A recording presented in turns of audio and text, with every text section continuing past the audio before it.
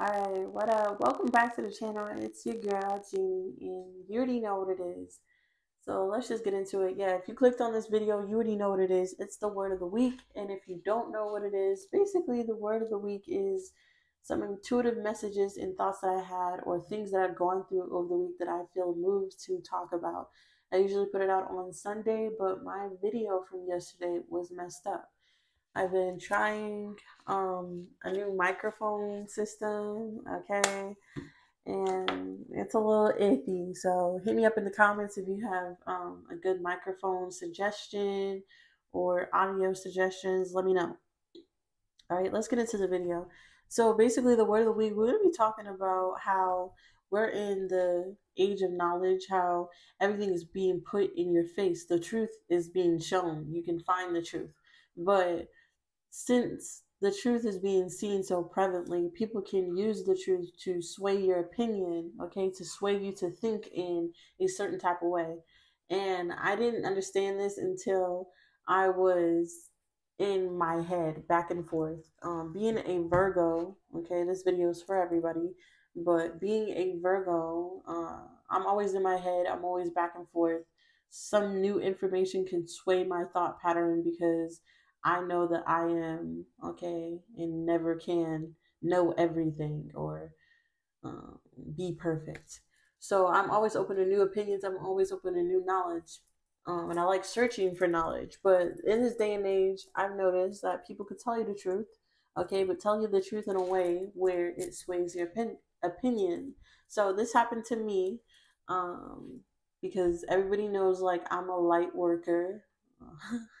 not by choice. Okay, definitely not by choice.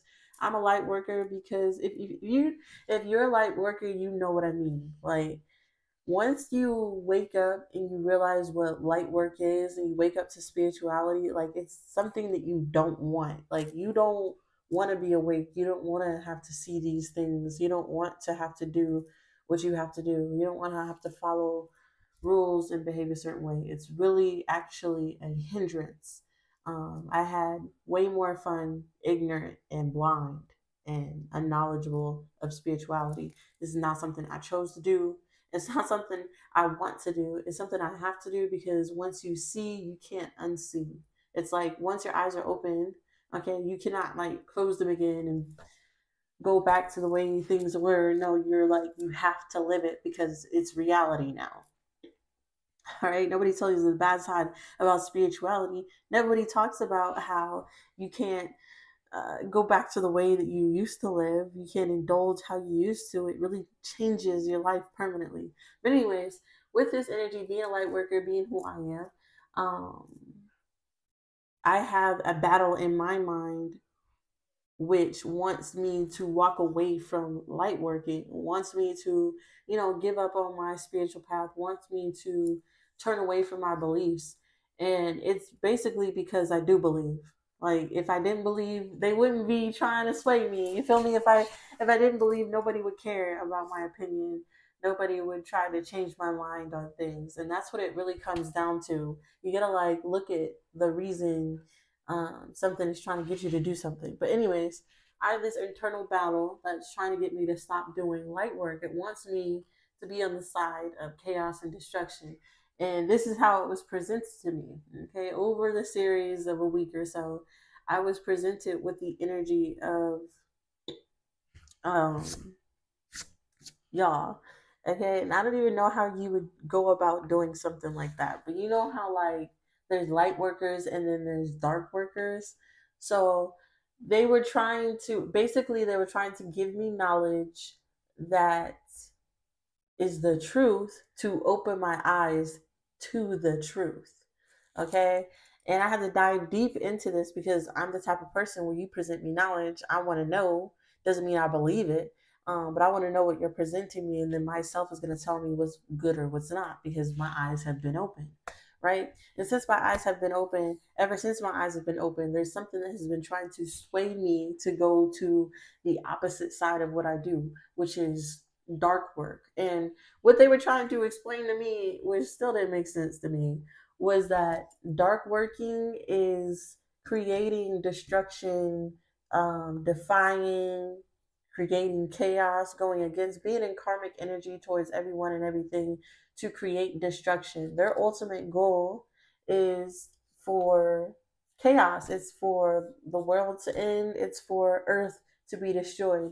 They believe that Earth is a prison that is trying to make them uh, conform, be under their control, and be obedient. And they don't want to be obedient to anything. They think the world is prison, and what God is doing is actually abuse. And I was like, okay, I can see how you can see it that way, but you're telling me obedience and um, being a light worker is living in prison when I have free will this whole time. Like, even though I'm a light worker, I have free will. I just choose not to indulge in these things because I know the repercussions. I know how that stains and dampens my spirit. It's not that I'm not free to do these things. It's not that I have can it's not that I have like I'm in a prison. I can't do these things. It's that I choose not to. I choose not to to choose chaos because I love people. And when they were trying to sway me, when they were trying to show me their side, right? I was like, it still really doesn't make sense because what do you do all day? Just nothing. Like you create negativity for what? Like what do you get out of that? And what I realize is the the only people who are into dark work are people who have no hope and are miserable. You feel me? Because when you have no hope and when you're miserable, it can lead you to do things like ruin somebody's day or hinder somebody. But me as a single mother living out in this world as a light worker, I see hindrance as like something that's like disrespectful. Like, why would you disrespect someone who is already living in this world trying to survive like you? Why would you add more to their plate? Like, it just doesn't make sense to me that I would, their work is destroying other people or destroying the planet when that's not what happens. All they do is put out negativity and then it's like equalized. And that's what I was trying to explain, or that's what I was trying to like rationalize. Like, you're saying light working, light working is prison, captivity, um, forced lessons, something we have to return to this prison, right? You say all that, but we're free to do anything. I'm not forced to do anything. I choose to, and you're not forced to do anything you choose to and the things that you choose to do doesn't do anything but hurt the people around you. So uh yeah and then i realized uh, why would something want to destroy the earth in the earth? And i realized that the earth is alive okay? This is me thinking about all of this. And i realized that the earth is alive and to end all of this, you would have to take a life. And that is like their ultimate goal to cause destruction, take life, hurt others, end things, and cause destruction. But when you're a light worker and when you wake up, you realize that the earth is alive. Like it's a life. It creates life. It creates abundance. It creates the feelings. It creates the things that are happening currently that gives us everything. And if you take that away, you take away lives and things and it's just I don't know. I have came to the conclusion, okay, that it's the same scenario as like Adam and Eve when Eve ate the apple and realized that there was much more beyond uh, the garden. But the point is, it doesn't matter what was beyond the garden. They already had paradise where they were. Okay. And that's the thing about negativity, the dark work, dark people, dark energy. Uh, they want you to be discontent in where you are because that's how they are. That's how they get to that. I said they had no hope. You feel me? They're in despair. And that no hope, that despair energy allows them to feel okay with hurting other people. Um, when you're in that energy, when you're in that energy, it is very easy to be swayed. Okay, it is very easy for the devil to start telling you half truths or negative energies to start telling you half truths or your mind to uh, go towards a darker reality. Um, because the thing about light working is it's it takes time. Okay, we are living in a world that is running off the speed of the lessons that we need to learn. It is not going on any other pattern, any other time. It is not going any other time frame, any other event, except the lessons that we need to learn and how long it takes us to learn these lessons. So, when you are living, when you're going through life, and God tells you, like, if you continue to do uh, light work, I will bless you. You will see the abundance, you will see this. But while you're doing it, it's very hard to stay positive because of the other people around you who is creating conflict. Okay, and it is very easy while you're waiting for your blessing, while you're waiting to see the good in the world, it's really easy for the bad to come in. Okay, it's really easy for the bad to come in and start telling you the truth. Like your God is making you wait. You're also like it, it's that type of thing. While you're waiting for the while you're waiting for your blessing, negative energy starts creeping in and telling you that what you're doing is is clown it's foolish to believe in something. It's foolish to have faith that your blessings are coming from the sky. It's foolish to sit there and believe that good things are going to happen to good people even though negative things happen to you constantly because of the negative people around you. This is how negativity negativity starts to creep in during your wait for your blessing and it's really easy to be swayed towards the other side because once these negative things start happening during your wait you start getting bogged down energetically then you start thinking and thinking negatively and then it takes even longer for you to learn the lesson in order to get the blessing. And this is how negative energy and dark energy slows down our manifestation our blessings and our happiness. It really doesn't do anything else but slow it down. Because there's always a light side there's always a light situation here that keeps things in balance but all this is doing is slowing down your manifestation because they want you to flip-flop and that's also a test from god. You feel me? Um if you actually believe. And since i'm in a situation okay i'll just talk about my situation. Since i'm in a situation uh, where i talk about god i'm a light worker i praise god every day Okay. Blessed be the Lord. Uh, since I'm somebody like that, I get a lot of negativity. People who want me to shut up, people who want to contradict the things that I say, people who want to tell me that I'm whatever they believe that I am because I do tarot.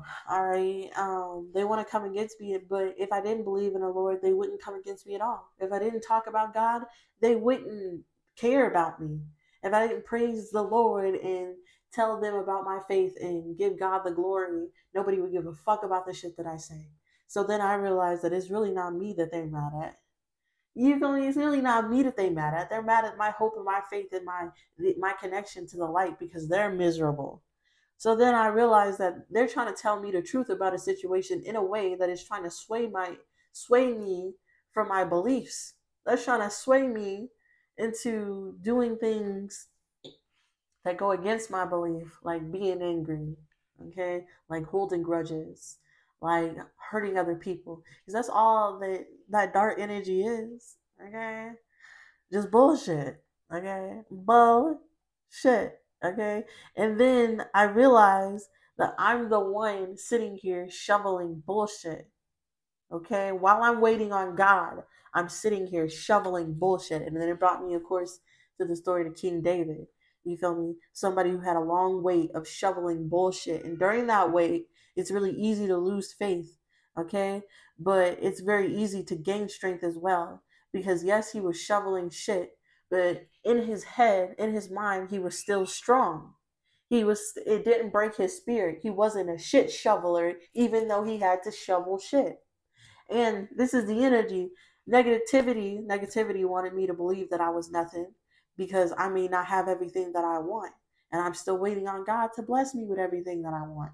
And it wanted me to believe that I am given, I'm, I'm just a clown for waiting.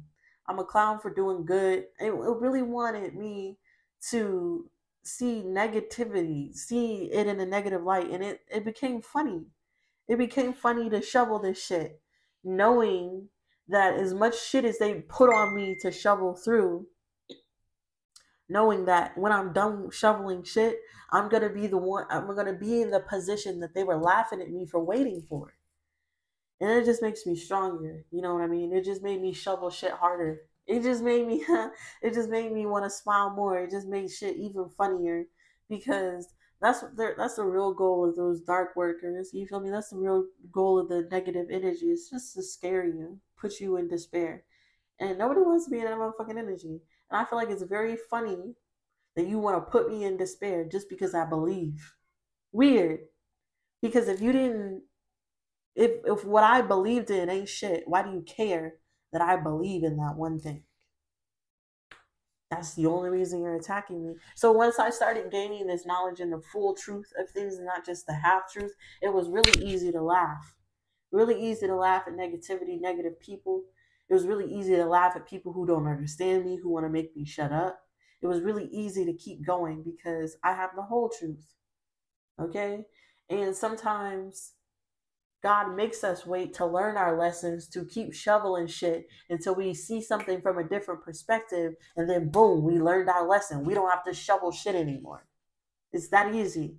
And that's why negativity creeps up on you when you're on the wait for your blessing, when you're manifesting, to slow down your shit, to, to take your focus off of it. Okay, to make you smell it. Yeah. And This is the energy. Once something overindulge, you gotta also look because often it's um your situation that you're in. That's how you know like this is a trick. That's how you know it's manipulation because it's surrounding a situation that you're in. Like for instance, how I said I do light working. I speak about God. I love God. Praise his name. It's all over my house. It's all over my be my being. It's all over me. Every single time I, I introduce myself people know. You feel me? They know they know. And because i'm like that i get put in situations where people want to tell me that i'm not what i am and that i'm going against what i'm talking about and that i don't know what i'm talking about and that I shouldn't believe because they don't believe. And I'm like, that's crazy if you were to believe that the sky is purple and we both see that it's not purple, I would not care what you believe. I would let you go on living your life, not giving a fuck about you believing the sky is purple and you would too. It's the fact that I believe in God that's really bugging you. It's the fact that I have faith that's really bugging you. That's what scares you. Because it mirrors back to you your shame, your humiliation, your despair. That's the only reason you don't want to learn lessons and progress and do right. So, this is the energy that I was challenged with over the week. Okay. Um, yeah. That's the energy. So, when I was going back and forth in my mind and being presented with information, all I could do was think that this was very funny. I find it very funny that information is being shown to me about dark magic and dark energy. I find it really funny that you want to show me this. Like, why? And then I realized you only want to show me this because of my situation because I'm a light worker. And what are you trying to show me that y'all just create negativity? And it's like, like, how is that appealing? how is that appealing?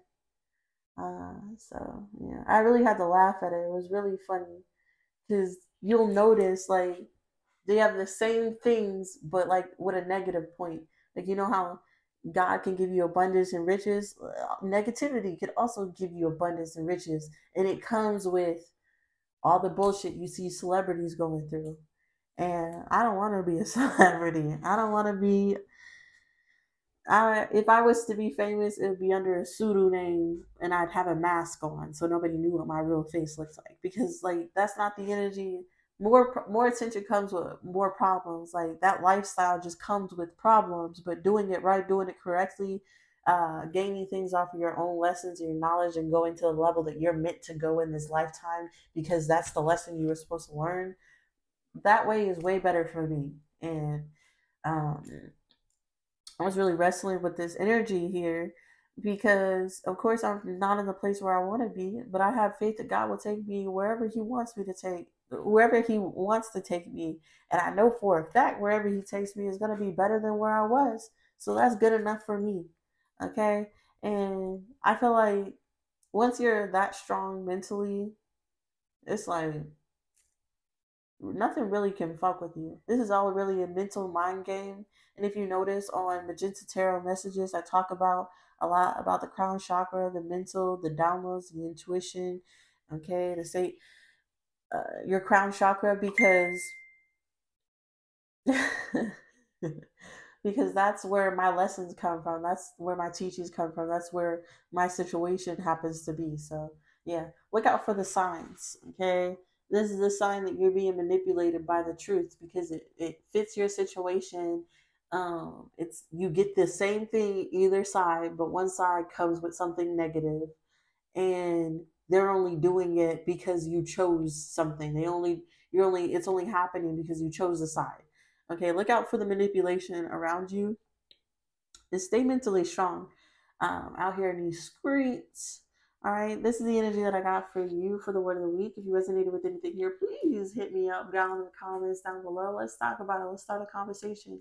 I'm thankful and grateful for everybody who hit me up in the emails and show me love in any type of way. I may not answer to every single email, but I definitely read them and I love you back.